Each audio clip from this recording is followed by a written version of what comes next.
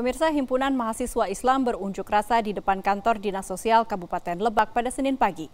Mahasiswa mendesak kepala dinas bertanggung jawab untuk mengevaluasi program sembako yang dinilai amburadul.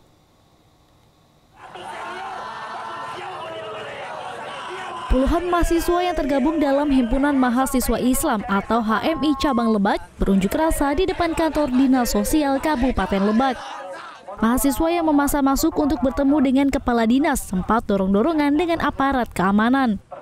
Unjuk rasa mahasiswa ini mendesak Dinas Sosial bertanggung jawab terhadap realisasi program sembako tahun anggaran 2020 yang dinilai amburadul. Selain dinilai di monopoli, program pengganti bantuan pangan non-tunai juga diduga ada intervensi dari pendamping atau TKSK terhadap keluarga penerima manfaat atau KPM. Koordinator Aksi Nurul Ahmad menuntut Dinas Sosial untuk mengevaluasi program bantuan.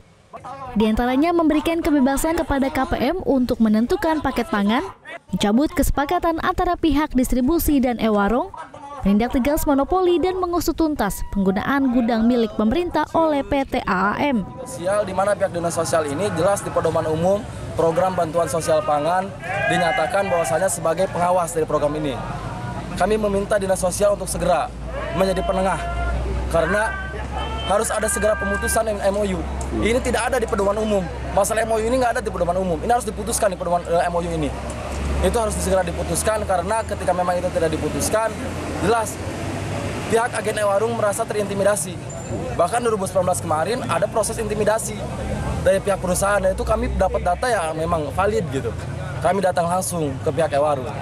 Kami ngobrol langsung dengan pihak Ewarung.